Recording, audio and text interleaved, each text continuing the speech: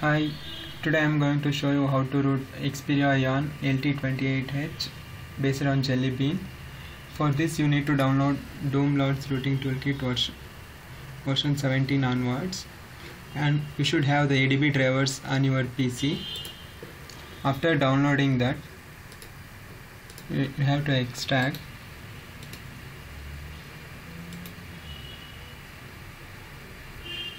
so in the extracted folder you will found this run me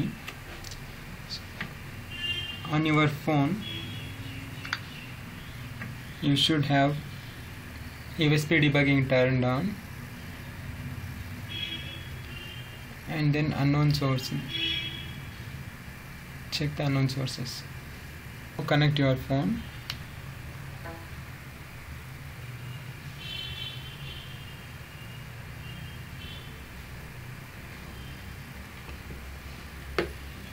installing the drivers.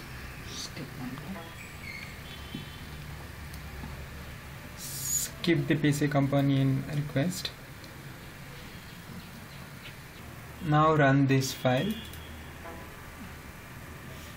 Okay, press enter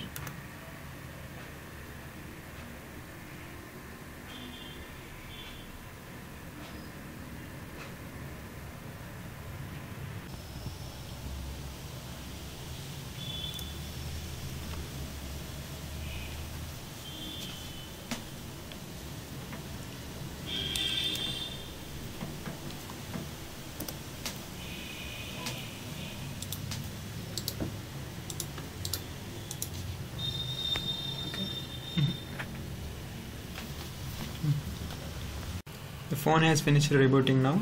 Now let's see for the super user. Super user has been installed. And the phone is successfully rooted now. Thank you for watching